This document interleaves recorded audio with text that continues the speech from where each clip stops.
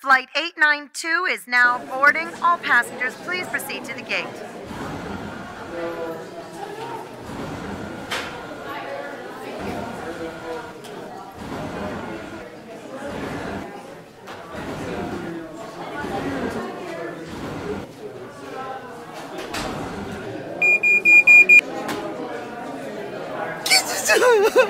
gate.